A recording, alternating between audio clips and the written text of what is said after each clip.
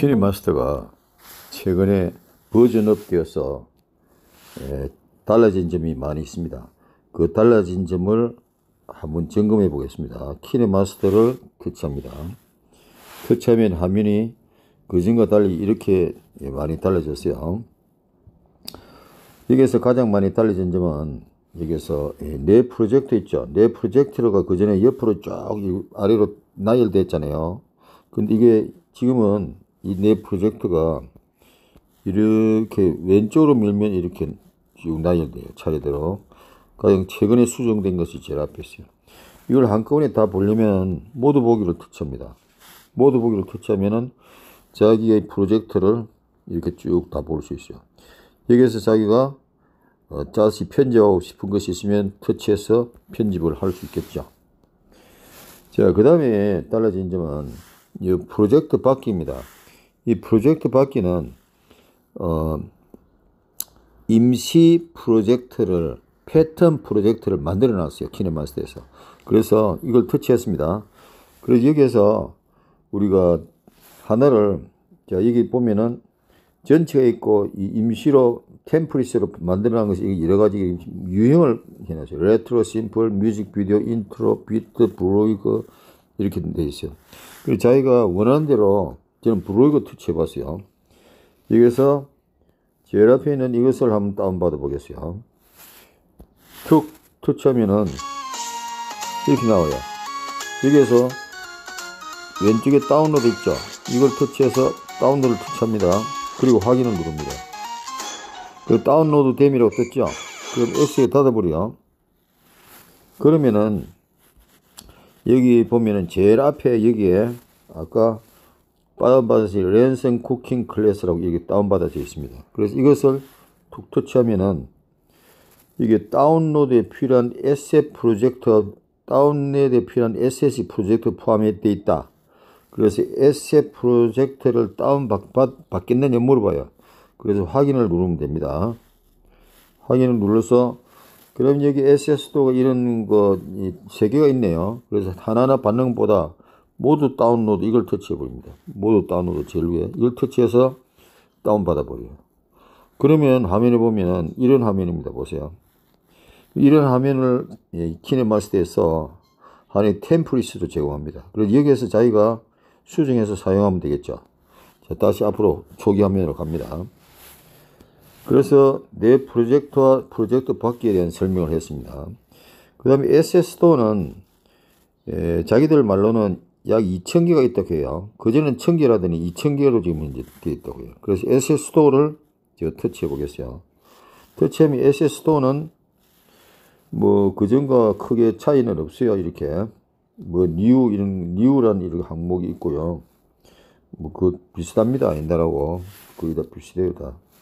그래서 SS 스토어가 있고 그 다음에 프리미엄 사용자가 여기 있어요. 프리미엄 사용자는 정품을 사용하느냐 아니냐이죠.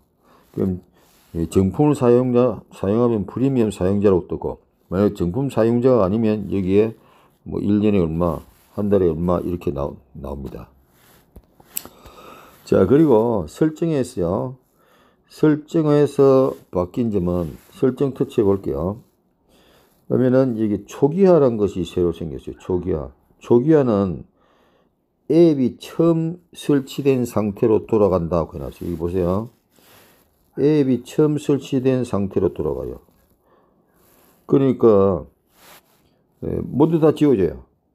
어, 그 SS도에서 다운받은 그런 거라든가 음악 이런 거 다 지워져 버려요.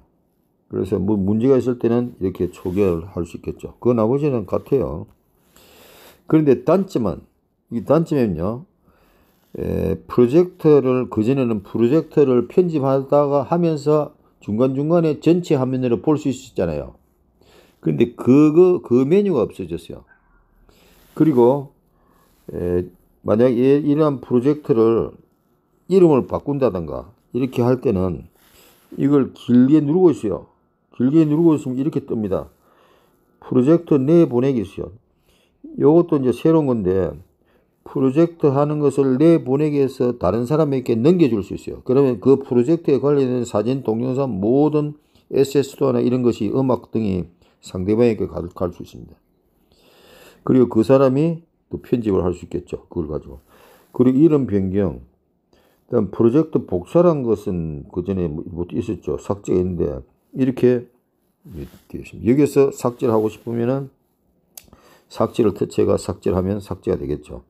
이것도 길게 눌러서 삭제를 해보겠어요. 이렇게 삭제를 하면 됩니다. 이제 세 개를 제가 삭제를 했습니다. 이렇게 삭제하고 그 다음에 여기 자주 묻는 질문과 새로운 소식 이것이 전, 전, 예, 전면에 이렇게 내세웠어요. 그래서 여기에 들어가면은 자세한 내용이 있습니다. 자주 묻는 질문에 들어가면은 이와 같이 인터넷에 연결돼서 자기가 원하는 항목을 새로운 소식 등을 볼 수가 있습니다. 그런데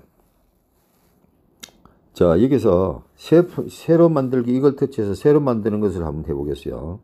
새로 만들기 위해서 터치하면은 제일 처음에 이렇게 나와요. 화면 비율이 이렇게 나옵니다. 그래서 16대 9나 9대 16으로 많이 쓰죠. 현재 16대 9가 선택되어 있죠. 그래서 사진 배치가 여기 있습니다. 여기서 살짝 내려가면요. 화면 맞추기, 화면 채우기 랜덤으로 되어 있어요. 기본적으로 화면 맞추기로 되어 있어요. 그 랜덤은 어, 이것은 사진에 변화를 주는 것이겠죠. 그래 보면 사진의 길이가 나왔습니다. 지금 현재 이것은 그 전에 그 어, 프로젝트 프로젝트 설정 있죠. 그 부분을 제일 앞에 처음 시작할 때 이것을 딱 음, 보이게 만드는 것입니다. 그러니까 그 전에 것은 실제 내용은 다 같은 겁니다. 그래서 이것을 사진 길이 같으면 저 같은 경우에는 어, 한10 정도로 해놓고 많이 써요. 그래서 이렇게 하고 다음에 이렇게 해서 그 다음에 프로젝트 다음을 누르면 됩니다. 그런데 여기 프로젝트 블록 있죠. 베타 버전인데 아직도 확정이 안 되는가 봐요. 좀 불안한가 봐요. 프로젝트 블록에는 아까 프로젝트를 내보내게 할수 있다고 했잖아요. 자, 다시 뒤로 갑니다. 프로젝트 블록에는 아까 프로젝트를 내보내게 할수 있다고 했잖아요. 내 보내온 것을 그것을 가져와서 쓸 수 있다는 겁니다. 다른 사람이 보낸 것도 내가 가지고 쓸 수 있겠죠. 자, 이것을 안 할 때는 자, 블록이 안 할 때는 위와 같이 이렇게 설정이 다 된 다음에는 저 위에 상단 우측에 다음을 터치합니다. 다음. 다음을 터치하면은 새로운 이제 창이 뜹니다. 여기서 에, 저는 이, 이 사진을 좀 가져와 보겠어요. 사진을 에, 여기서 뭘 가져오느냐 하면 뭐죠? 제가 좋은 풍경 사진에서 사진을 한번 가져오겠어요. 여기 배우 사진 하나 가져오고요. 이렇게 사진을 몇 개 가져왔습니다. 제가 그리고 저장을 했습니다. 자, 이런 사진을 가져왔는데, 에, 가장 많이 달라진 점은 이 사진을 이렇게 딱 터치했어요. 지금 이 사진이죠. 엘리자베스 테일러 사진인데, 유명한 배우잖아요, 옛날에. 이 사진을, 어, 최신 버전 5.0에서는 다른 사진으로 음, 바로 바꿀 수가 있어요. 바로 바꾸는 것이 뭐냐면 요겁니다. 요걸 터치하면은 터치해요. 그러면 다른 사진으로 바꾸고 싶으면요. 자, 다른 사진으로 한번 바꿔보겠어요.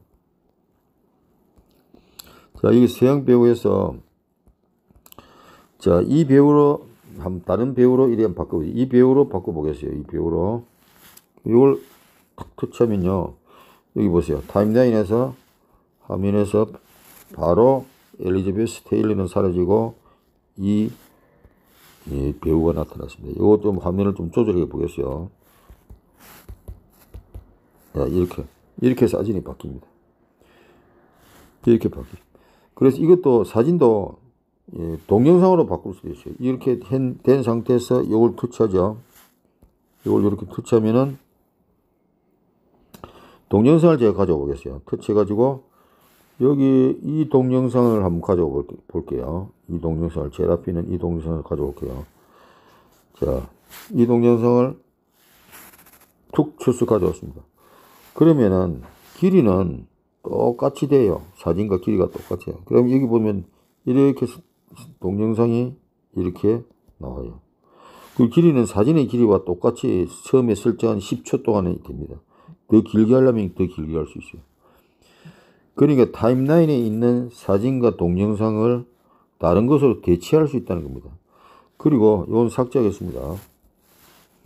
삭제 여기에서 음악을 한번 넣어보겠어요. 오디오에서 예, 음악을 한번 넣어보겠어요. 자, 여기서 폴드 가서 자 여기서 신나는 지루박이라고 있죠. 요, 요 곡을 자, 이 곡입니다. 이 곡을 지금 이제 제가 한번 넣어보겠어요. 지금 넣었어요. 이런 음악도 내가 틀어보니까 마음에 안 들어요. 그러면 음악을 바로 다른 것으로 바꿔치기 할 수 있어요. 그때는 요걸 터치합니다. 음악을 터치해요. 음악을 툭 터치하면은 예, 여기서 음, 폴 들어가서 여기서 예, 내가 이 어떤 음악을 선택했어요. 이렇게 선택했어요. 밑에 이게 선택된 상태입니다. 이 음악이 선택된 데서 선택하면 플러스가 안 되고요. 이렇게 아이콘이 떠요. 이건 바꿔치기 한다는 거예요. 이거를 터치하면은 이렇게 음악이 바꿔치기가 됩니다. 그러면 다시 말하면은 키네마스터에서 타임라인에 있는 사진이나 예, 동영상을 다른 것으로 바꿔치기 할 수 있고 음악도 바꿔치기 할 수 있다. 그런 이, 어, 새로운 이, 이 좋은 점이 생겼네요. 그 대신에 아까도 말했듯이 이런 것을 지금 편집한 편집 중간에서 이 전체 화면을 이 화면을 이 화면을 전체 화면으로 이 키네마스터에 빠져나 전체 화면으로 볼 수 있는 그런 메뉴가 사라져 버렸어요. 이건 계약입니다. 계약. 개선이 아니고 파워 디렉터에서는 그러한 기능이 있죠. 지금도 있습니다. 전체 화면을 보면서 중간중간에 전, 전체 스마트폰 전체 화면에서 어떻게 보이느냐를 할 수가 있겠죠.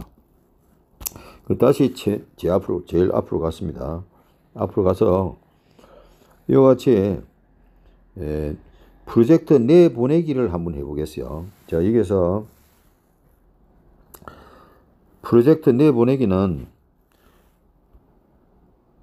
자 여기서 자 요걸 프로젝트를 하나 길게 누르겠어요. 길게 누르면은 이와 같이 프로젝트 내보내기라고 있어요. 이 부분을 터치를 합니다.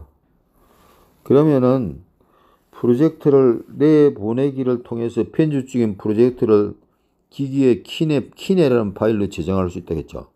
그래서 확인을 터치합니다. 확인을 터치하면은 화면이 이렇게 나와요. 여기서 이 내보내기, 내보내기란 폴더를 제가 이거 만들어 놨어요. 여기서 조금 전에 이거죠. 이 파일이잖아요. 이 파일 이걸 터치해서 여기에 여기에 있는 이 아이콘 있죠. 이 아이콘도 곧 바뀔 것 같은 느낌이 들어요. 이걸 터치하면은 새 폴더가 있잖아요.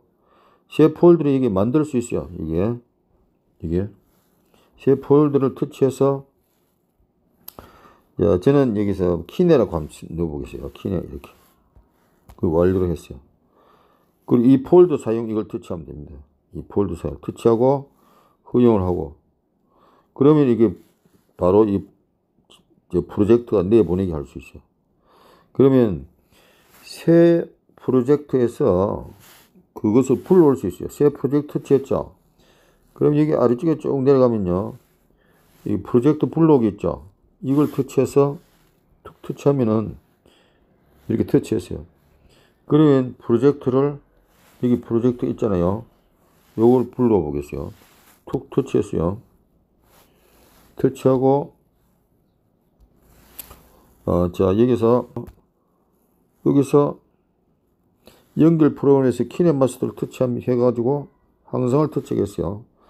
그러면은 이렇게 불러오기 해서 편 예, 불러오기를 통해서 기계에 지원된 키네 파일을 이어서 편집할 수 이어서 편집할 수 있다 했죠. 여기서 이렇게 불러와서 확인을 터치합니다. 확인을 터치하면은 그것이 이렇게 그 프로젝터가 이렇게 내가 불러올 수 있습니다. 저장한 것을. 그 파일을 다른 사람에게 보내면은 다른 사람도 내가 편집한 곡에서 다음 편집을 이어갈 수 있겠죠. 이상 이 키네마스터의 최신 버전에서 바뀐 점, 새로 만들기, 프로젝트 받기, 그 다음에 내 프로젝트, SS도, 프리미엄 사용자 설정 등 자주 묻는 질문 이런 여러 가지 사항이 배치를 많이 바꿔놨어요. 예, 좋은 점도 있지만 자, 나쁜 점도 있어요. 그리고 이전 버전에 있던 것은 다 지금 현재 여기에 있는 것은 거의 다 이전 번에 있습니다. 프로젝트 내보내기 받기라든가 뭐 사진 바꿔치기 이런 것은 없지만은 이전 버전도 예, 상당히 쓸만하니까 그렇게 이전 버전을 쓰는 사람은 그대로 사용해도 됩니다. 자, 이상 키네마스터에서 새로운 버전에 대한 어, 전반적인 상황을 둘러봤습니다.